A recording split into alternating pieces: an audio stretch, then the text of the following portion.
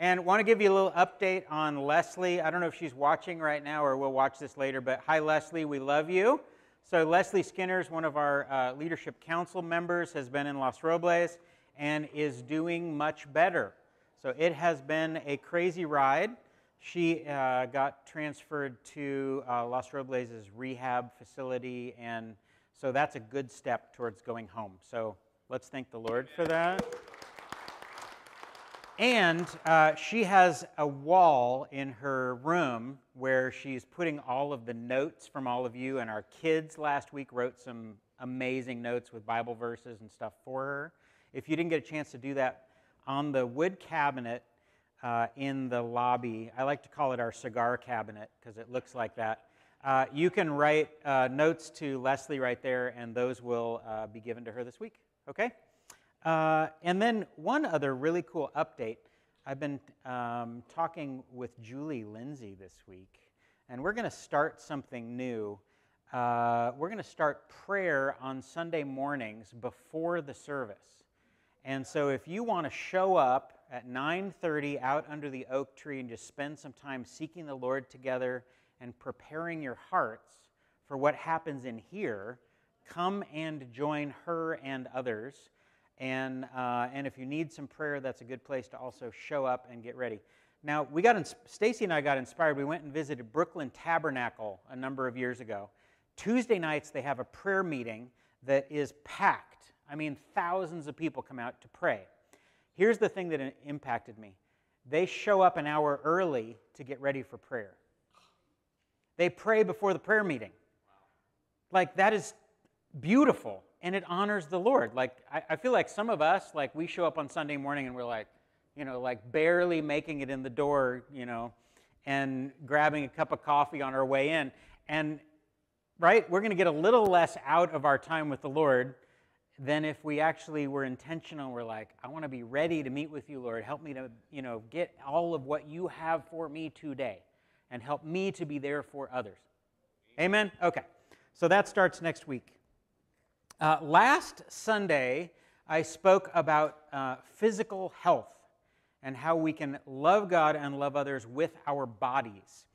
Um, it stirred the pot. I've had a whole bunch of conversations this week about, yeah, but you didn't talk about this. Hey, what does it mean for someone who's uh, critically ill? What does it mean for someone who is, you know, extremely elderly? What does it mean for this? What does it mean for that? Which has been awesome. Some great conversations. So I wanted to share just a couple of thoughts with you, uh, clarifying thoughts from, from last week. Uh, one is this we talked last week about taking care of the temple. For some of you, that means doing more push ups. For some of you, you're like, I can't even do a push up. Like, what, do, what does it mean for me? One concept that we talked about last week was be the best version of you in God's eyes. Who has He created you to be? What has He made you capable of? Do that. Don't try to be somebody else. Don't, don't try to model yourself after you know, the people around you. And ask Jesus, what does it mean for me?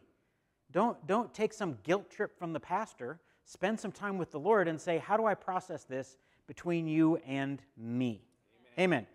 Um, here's the other thing that, that I've been thinking about. How did we end up in a place where Christians don't care about their bodies?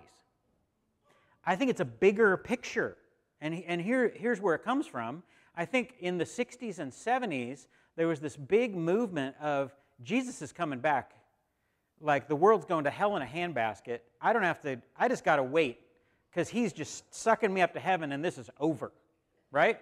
So, so that affected how do we treat our bodies? It affected debt. It affected ecology. Like, I don't need to take care of the planet because who cares? And now we're stuck here with debt and a planet and bodies that we haven't been taking care of. And we're like, shoot, Jesus, you're taking too long.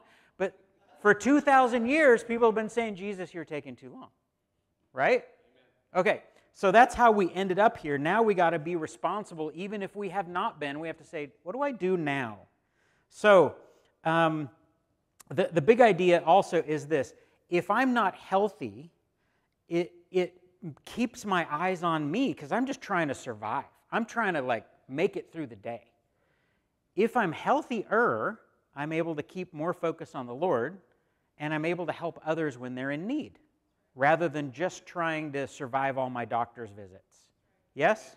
Now, I'm not saying that in a judgmental way. I'm saying that in a, uh, it's not, and, and we also talked last week about being around more on the planet so we can help more people join us in heaven. So there is a quantity of life question, but there's also a quality of life question. How do I want these years to go? And what can I do to invest in that rather than going, you know, I should have done that? Amen? Okay. Did hopefully that was helpful rather than hurtful. We're okay? Okay. We're still friends? Okay. Okay.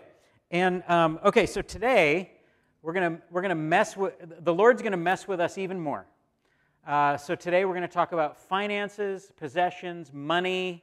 Something these things don't mean anything to Americans, so it should be nice and easy, and I won't get any hate mail this this week at all.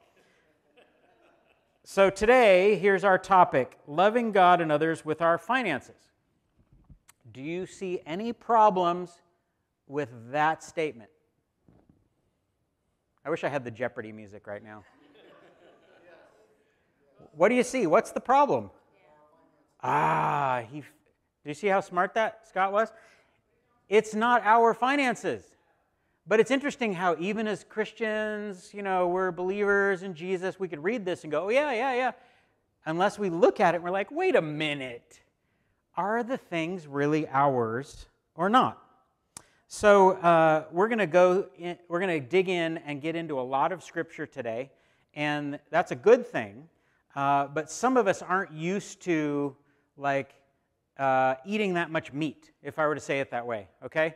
So I want to I want to tell you this. A, um, try to keep up because I'm going to keep moving because this could be like three weeks worth of stuff. The Bible has more to say about money than heaven and hell combined. There's a lot in here because it's part of us.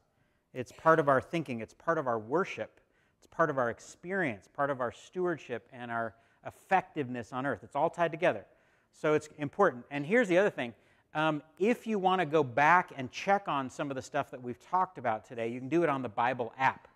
So here is a way to do that. On the Bible app, if you look under events, which is under more, you can find Conejo Church and you can find our sermon notes. And so this lovely person right here posts them every week for you, so you can check it out. And if you want to look up some scriptures, if you're like, what was that thing, that, that quote again? You can find them there, and they disappear in a week, right? So they're. Oh, you can save them. Okay. So they are there this week, so you can go back and check it out. Okay, so the first idea is we are stewards of God's stuff.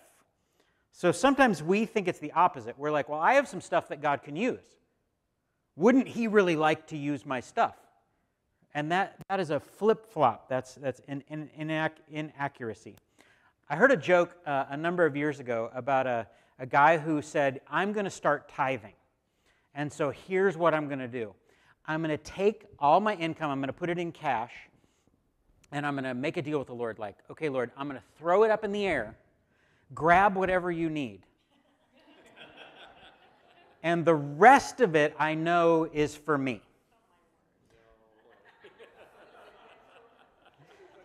Okay, so here's proof that we are stewards and not owners of the stuff.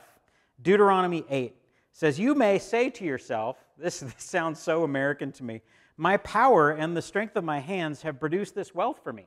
Like the self made person, right? But remember the Lord your God, for it is He who gives you the ability to produce wealth. So you might say, I'm just such a hard worker, and look what I have done. Your next door neighbor may not have had the same opportunities as you and might be seeing things very differently. And we got to go back to the Lord and say, Thank you for giving me the strength to even show up for work this week.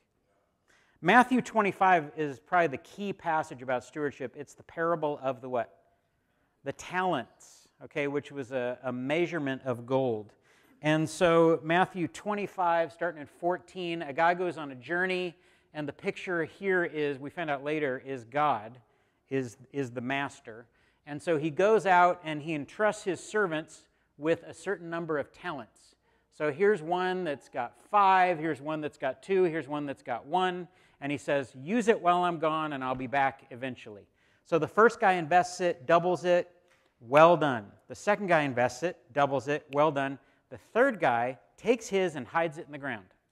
So the master comes back and goes, Really?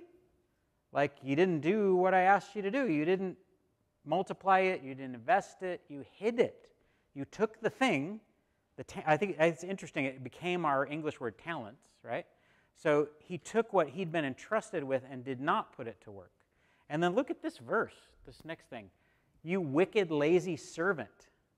And then the end of the, the passage says, Throw him outside where there be weeping and gnashing of teeth. So this is a sin of omission, not a sin of commission. He didn't kill anybody. He didn't sleep around. He didn't do this or that or the other thing. What he did was he didn't do what he was given. He didn't invest what he had been given. He didn't, he didn't put it to work for the Lord. Scary. And, and that's, you know, some of those pa- parables are there as warnings to us not because God's mean, it's the opposite, because He's loving. And He says, Be careful to use what I have given you. Right Luke 16. Um, I, I love this. This verse is really interesting to me.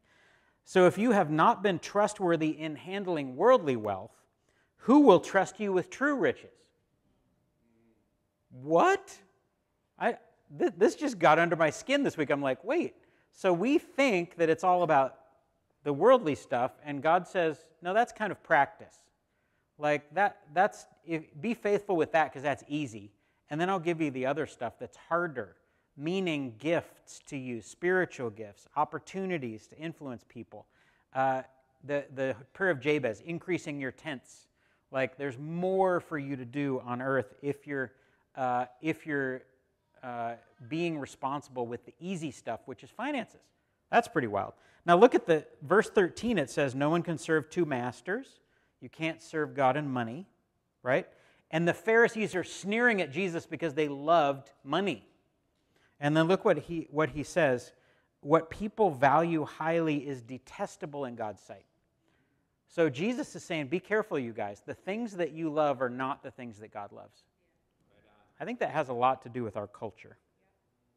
So um, I was thinking this week that being a Christian, uh, our Christian life is a lot like having a company credit card.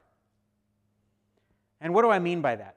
So, if you have a company credit card, the assumption is you're not spending stuff all on yourself, right?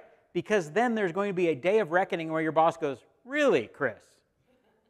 Like the trip to Hawaii, what did that have to do with your job? Like, it doesn't make any sense, right? And, and so, just like that, the company in this case is the kingdom. So, if I have the, the, uh, the, the credit card, the Christian credit card, right, all the stuff God has entrusted me with, the company card, I'm supposed to use this for His kingdom, for the company, not just for me. And I found that a totally helpful idea. Like, wait a minute, sometimes I see this as my credit card, and it's really not. So when you look in your wallet, just think about is this mine? Is this his? It's a great conversation to, to start thinking through. I, I remember having a dream in college because somebody told me about the Amex Black Card that has like up to a $300,000 limit, right? And so um, I, was, I was like, I had this dream like somebody, you know, I got this thing and I get to, I got a car and I got a boat and I got all this stuff. And then my dream turned to a nightmare because one of my friends said, You know, you have to pay that back at the end of the month. and so, as I, literally, I woke up in a cold sweat and I'm like, Oh my gosh. Like, okay. but I think it's a little picture of our lives. We're, we're here for a short amount of time, and, and there will be some kind of accountability about what did we do with the time? What do we do with the gifts? What do we do with the cash that God entrusted us with? So, how do you know if you are loving God with stuff? I think the first step is recognizing where it came from and, and who really owns it. And are we using the stuff that we have for His glory or not? For instance, the house that you live in, is it used for Him at all? Yeah, well, our house is too nice. I can't really have people over. Maybe you got the wrong house, right? Well, I, I can't lend any my, anybody my car because they're going to scratch it up. Uh, I remember going on a mission trip with a guy that had a guitar, and somebody asked to borrow it, and he's like, I don't let anybody use it. And I was like, dude, your guitar is going to get run over by a bus because it's God's. Like, be careful. So I have fishing gear, and, and sometimes I loan it to people because it's not mine. And so we have to be careful about like what what do we do with the stuff that God's given us and how do we use it for his glory? I'm not saying being dumb and and irresponsible and letting people ruin all your stuff. But I am saying whose stuff is it and how is it used for his glory? Right? So James 1:17 says every good and perfect gift is from where? Above. So, how do you love others with the stuff God has entrusted you with? First is this don't spend it all on you. Look for ways to help somebody else, which is a way of becoming like our Heavenly Father, because He is generous. So, did you know the English word generous means of noble birth? So, we become more like Him when we take on that characteristic of generosity. And, and my goal is to become more like him over my lifetime rather than to become more like the people I see on Instagram who have all kinds of stuff. I want to be more like him than them. Because odds are, between posts, some of those people are pretty unhappy. Now, they look pretty smiley in that post when, you know, with the new rolls that's matte black. But the next day, I, am I'm, I'm thinking that I'm probably happier than they are because I'm have this perspective with the Lord that is doing pretty well right now. I'm growing to be more like my dad. Right? right? So here's a deep thought. Generosity is something that God wants for you much more than from you. In other words, you will be happier if you are generous. You will be less happy if you are not. This is actually a true statement. It's not just a Christian statement. Other religions will say a similar thing because this is kind of a, a human being statement. and here, here's the other thing God doesn't need anything from you. Right? So if, if, if I'm thinking he requires me to be generous, that's kind of saying he needs me to do something for him. He doesn't. But he wants me to do things for him and others because it helps me too, and it helps others around me. Giving itself is a gift. Have you ever heard this, uh, this statement or this verse, it's better to give than to receive? So, fun fact do you know why this is an important verse? This is a statement of Jesus that's not in the Gospels. It's recorded in the book of Acts. And so, Paul, uh, uh I can't remember who is saying this. Yeah, Acts 20, this would be Paul. He is saying, Remember when the Lord said this when he was on earth. So I think that's an interesting thing that that verse is Jesus quoted, not in Matthew, Mark, Luke, or John, but picked up in the book of Acts. And generosity actually brings freedom. If you look at uh, Proverbs 11, one person gives freely yet gains more. Another withholds but comes to poverty. A generous person will prosper Whoever refreshes others will be refreshed. I've got some friends that are super generous. They're fun to be around. And I don't even mean that they're giving me something. That's not it. They're, there's just an outlook, there's something in their eyes that's pretty cool to watch. Um, I feel like some people are rivers and others are lakes. So here, here's what I mean by that Do resources th- flow through you, or do they stop at you? Right? So I want to be a river where God entrusts me with stuff that's going to help somebody else rather than just, oh man, look how much stuff I have. Um, so, how do we put money in its proper place? Uh, 1 Timothy 6 talks about the desire to be rich. And I think this is interesting. Those who want to get rich fall into temptation and a trap and into all kinds of foolish and harmful desires that bring ruin and destruction. And, and it doesn't say money is the root of evil, it says the love of money. So money is kind of a neutral thing. Possessions are a neutral thing. It's what do we do with them, right? And then it says some people eager for money have wandered from the faith and pierced themselves with griefs. So people think this is going to make me happy.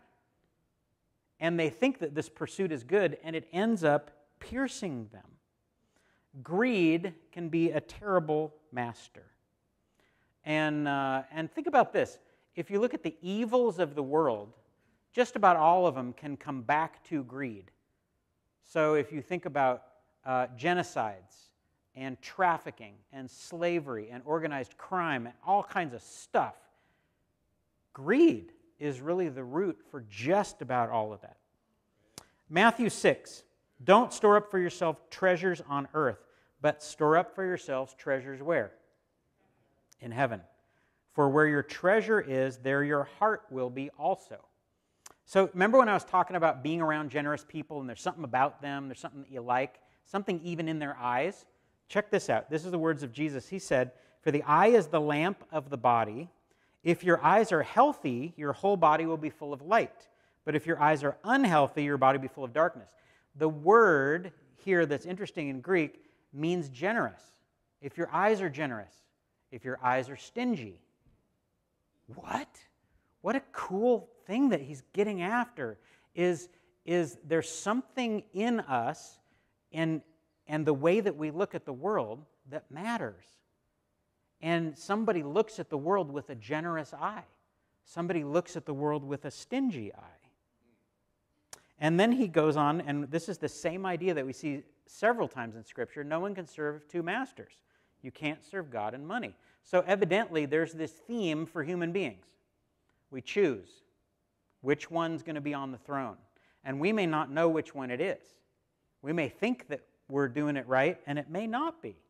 And so, this is a good thing to just pull out, pull it out every couple times a year and go, Am, am I doing this okay? So let's talk about tithing for a minute. Is tithing for today? Hotly contested, lots of articles on this. Uh, I want to I wanna tell you where I have netted out on this as I've, as I've studied it and prayed and lived life. I believe that tithing is our starting place for today.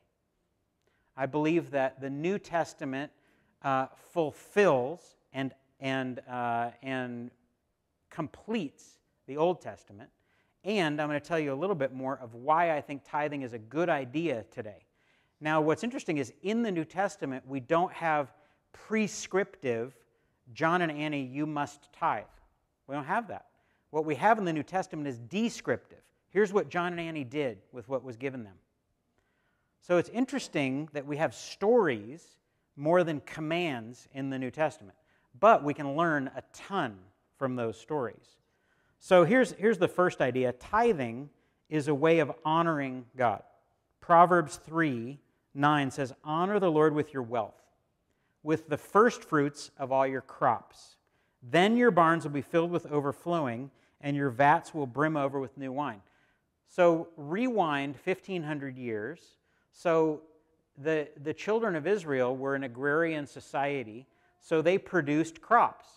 They gave the first 10% to the Lord, trusting that He would meet all their needs after that. That was a big risk. That was kind of scary. But they did that knowing that He is in charge and they're not. It's a way of saying, God, you're in charge. Second is this tithing is a universal principle. So tithing started before the law, it started before Leviticus. So Abraham tithed and, and Jacob tithed. So, so that's kind of interesting that it happened even before the law uh, was given to Moses. Number three, um, Jesus confirmed tithing when he had a chance to say, oh, that's old school.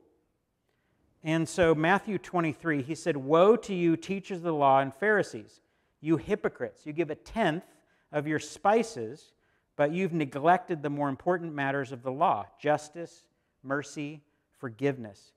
And this is an interesting line. You should have practiced the latter without neglecting the former. So he could have said, You don't need to worry about that. I just want you to worry about justice.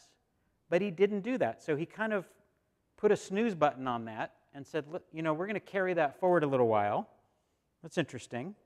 Uh, and then verse 24, pretty heavy. You blind guides, you strain out a gnat and swallow a camel.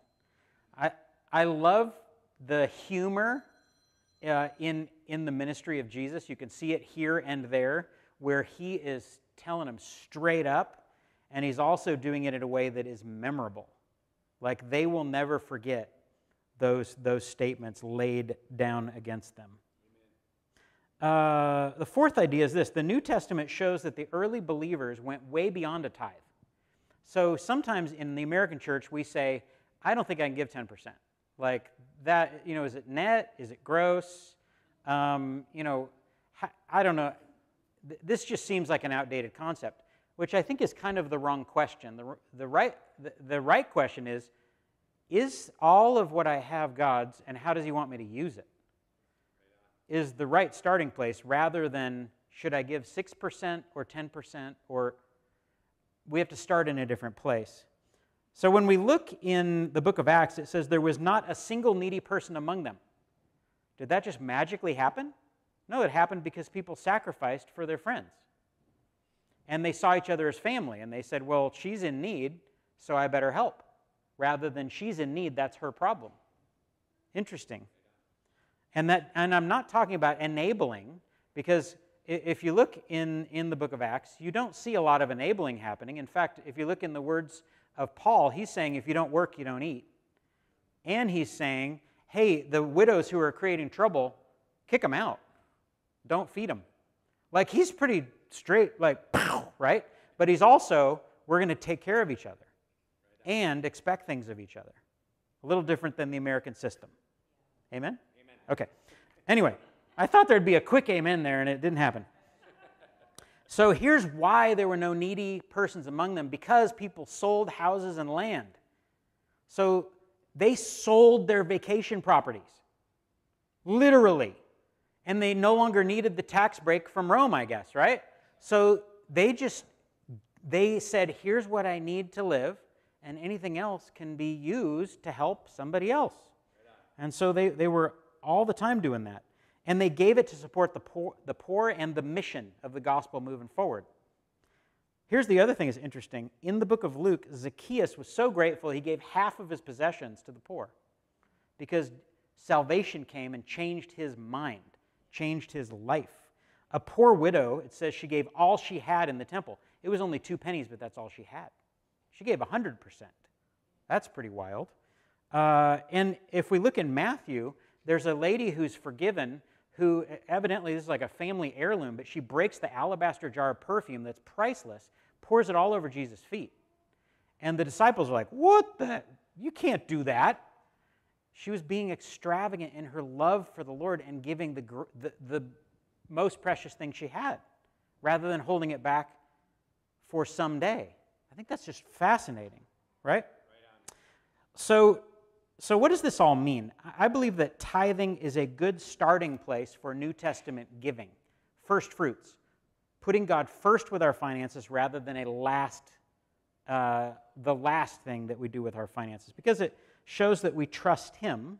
And the New Testament teaches that everything is His, not just 10%, the whole, the whole thing. And we have to start somewhere in our lives so that we can grow in financial maturity. And we, th- we talk a lot about financial security, which actually has nothing to do with how much you have. But financial maturity is something that I think is lacking in a lot of the American church. How do I grow in my understanding of what God's given me? Um, because giving and tithing is more about our hearts than our finances. It shows our love, it shows our priorities, and sometimes it shows our fear.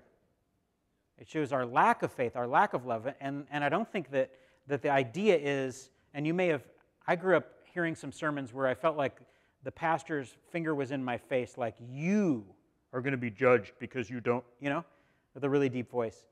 Um, but I feel like what, what's really happening is the Lord is saying, I want you to trust me. I want you to come to me with everything, and I'll show you how to use it. And I gave it to you for a reason. So let's, let's work together on how I want you to use that for my glory, the Lord speaking. Amen.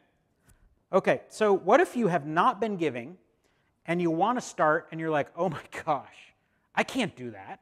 Like, there's no, do you know what kind of debts we have? Do you know what kind of responsibilities we have? Do you know, wow, right? I mean, how do you even get started? So, God has some words in Malachi chapter 3 that continue to blow my mind. Um, and he says, I want you to test me in this. So here's, here's one thing don't test God unless he says, test me. Okay? So this is the only place I've seen in Scripture, is this right? Where he says, test me, Michelle? I think it's the only time where he says, test me. And so he says, uh, Matthew 3, I'm sorry, Malachi 3, will a mere mortal rob God? Yet you rob me. But you ask, how are we robbing you? And then God answers, in tithes and offerings. Incidentally, uh, the there, were, there were three different tithes that the Israelites had. And so it was not 10%, it ended up to be more than that. And then there were also offerings that helped the poor and helped during certain festivals and etc. So there, was, there wasn't just a 10% happening, there was a lot more happening in, in their lives. Uh, verse 10 Bring the whole tithe into the storehouse. Test me in this. There's that line. Says the Lord Almighty See if I will not throw open the floodgates of heaven and pour out so much blessing that there will not be room enough to store it. So, just, just a little caveat there. Don't give so that God will give you millions. Give because God has invited you to be like Him. Give because He puts needs in front of you that He wants you to be part of meeting, right? And He promises to meet our needs. Now, sometimes our wants get confused with our needs. And, and so I have seen sometimes people go through really hard times in their life where they're like, man, I did not have the finances that we needed during this time. But here's what's interesting sometimes during those seasons, they're growing in other ways, and God's giving them riches in here and in here and in their relationships that would not have happened if they had the cash. So God's meeting all of our needs according to his riches and glory. Sometimes we like how he's doing it, Sometimes we're not so sure. But there's a trust that has to be part of this whole equation. 2 Corinthians 9 says, Remember this whoever sows sparingly will also reap sparingly. But whoever sows generously will also reap generously. And look at this each of you should give what you have decided in your heart to give, not reluctantly or other compulsion, not a guilt trip. That's not what we're doing today. For God loves a cheerful giver. And God is able to bless you abundantly so that in all things, at all times, having all you need, a lot of alls, you will abound in every good work. Look at the end. God's goal is for your life to matter, for you to be helping other people, for you to walk into the works that He created from the beginning of time for you to walk into, so that your life matters forever. And that doesn't mean that you're going to be Billy Graham. Odds are none of us will be Billy Graham, right? But we will be stepping into who God has created us to be, the opportunities He's given us to influence others. And that's more important than having money. I think it's interesting how it ends with, you will abound in good work. It doesn't say you'll abound in, you know, a, a huge retirement, but in good work. Amen. So, what if you owned a field and you sowed sparingly? So, I've got one of the fields down in Oxnard, let's say, is mine, and it's four acres, and it's gorgeous property in the floodplain, and I can grow anything I want. But I'm just going to plant one little corner of it, and I'm going to plant only 10% of my seeds. How's my harvest going to be? Now, doesn't that, it kind of makes me mad to think about. I'm like, how could you do that? But I think that's kind of how we think sometimes. We're, we're cautious and careful and scared and fearful and anxious, and, and we just like, I'm, I'm just going to give a little bit and just see how that all works out. And that's a whole different picture than somebody going after the four acres and going, man, I got, I'm going to plant all my seed and I'm going to pray that God blesses it and we'll see what happens. I think that that harvest is going to be better, right? The person who sowed generously is going to have a whole bunch more plants than the person who planted one tenth of their field with one tenth of their seeds. It just makes logical sense. So, and he, what if you don't plant your seeds at all? That's the parable of the talent. So the guy's like, I got this bag of seeds. I'm going to put it in the safe. But that's how a lot of us think. I had to keep, I'm going to keep the seeds for a rainy day. But the seeds are important. The seeds bring harvest. If they don't get planted, nothing can happen. Some people think that the Bible is really complicated. And, and then I read these things that are like, oh, so generously versus so sparingly. It kind of makes sense. I want my life to be out there invested in others. Okay. Um, so I want to ask the band to come on back up. And, uh, and I want to ask you uh, just a couple of questions as, as we wrap it up. One is this What are you investing in that will last forever? And it's probably not your business, it's probably not your dream home. But what are you investing in that will last forever? And forever is a long time. And is there anything? Because that's up to you. That's not up to me. That's you and the Lord. What are you going to invest in that will last forever? I'm thinking about you, Michelle. You, she, she does a radio show that is all over the Middle East that is touching people who grew up Muslim and teaching them about Jesus. Pardon? And in Africa. That will last forever. So, I mean, if, if you invest $1,000 in what Michelle's doing, guess what? Some stuff will happen that will last forever. If you invest here at Conejo in what God's doing, lives will be touched forever. There, there are people that are starting to come to our church that have no church background or have given up on the Lord and said, That will never work for me, that will never be my house.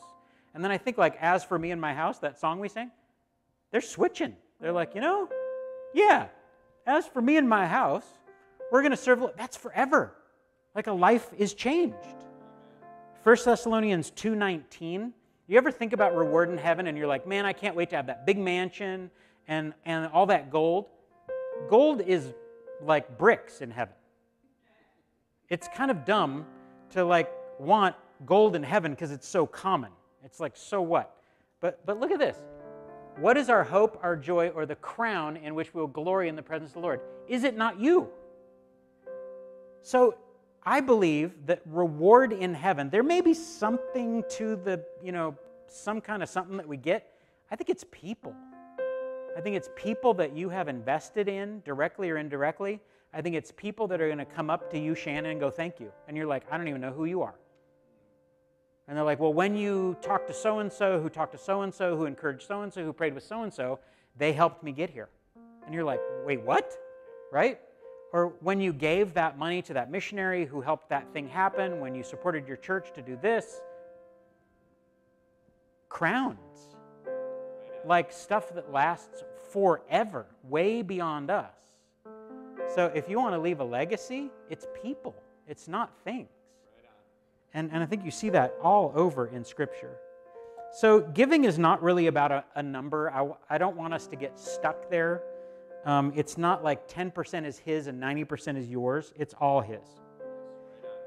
So give to him whatever you decide in your heart, not out of obligation, because he doesn't want you to give something that you give grudgingly. The whole remember it said the Lord loves a cheerful giver. So so don't give something that you don't want to give. Give what you do want to give. And say, Lord, what do you want me to give? And how does that look to you? And and how is that faithful and how is that growing my financial maturity? And pray and ask Him for a next step. Here's the other thing sometimes, sometimes people are like, there's no way I could do 10% right now. So, how many of you, if you have not gone to the gym in 10 years, would start at full capacity tomorrow? I, I think for a lot of people, taking a step is the right thing, right? And, and take a wise step of faith and see what the Lord will do when you meet Him there in the middle. Um, so, so just this, this last thought.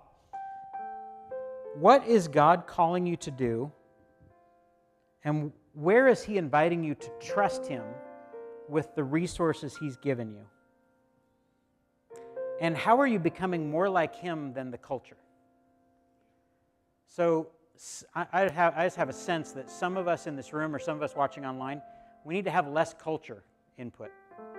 So if you are always looking at the house, the trip, the car, the etc. on Pinterest or on Instagram, or you just you build this unrealistic and I think dangerous expectation of I got to have all that. And the Lord's like, "No, I want you to spend time in my word and with me and with my people and I want you to reach the planet." And you can't serve God and Instagram. You can't serve God and Pinterest. You can't serve God and money. So let's pray. Lord, I ask that you'd show each of us in this room what is our next step with the resources you've given us. We ask Jesus for the, the faith, the courage to take steps towards financial maturity. And Lord, I ask that everybody in this room would be amazed at how you use their lives for your glory. Lord, I ask that things that we've been stingy with would free up. I ask, Lord, that you'd provide resources that we can use for your glory where we feel like we don't have the means. I ask, Lord, that you would help us to see the, the money, the retirement, the income, the tax return, the whatever. Help us to see all that from your perspective, not our own. And Lord, I ask that your people would not be fearful, but we'd be faithful. Help us to be more like you because you are our generous dad. Thank you, Jesus, for showing your generosity in everything that you did for us and everything you continue to do for us. And thank you, Holy Spirit, that you're a generous giver of all good gifts. Thank you, Lord. Amen.